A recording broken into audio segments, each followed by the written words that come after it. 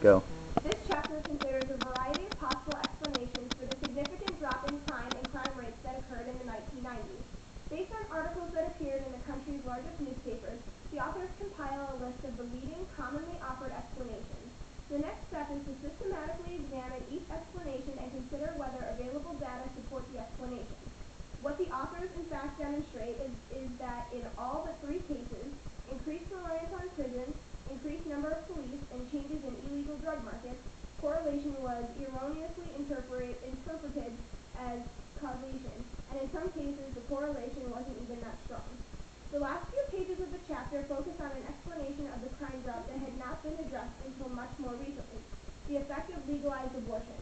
The discussion summarizes the results of a study conducted by Donohue and Levitt that appeared in the Quarterly Journal of Economics in 2001.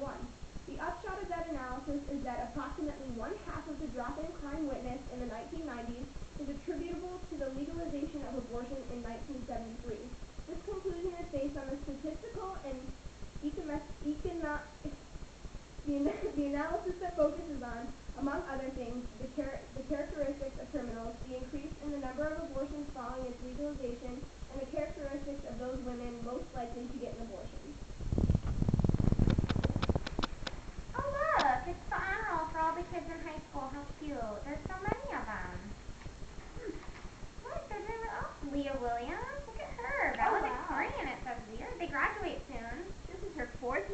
girl? Yeah. Hmm. Mike is on his fourth year in jail. He's got three more years left. He robbed a jewelry store, knocked off the owner's was on it. No big deal.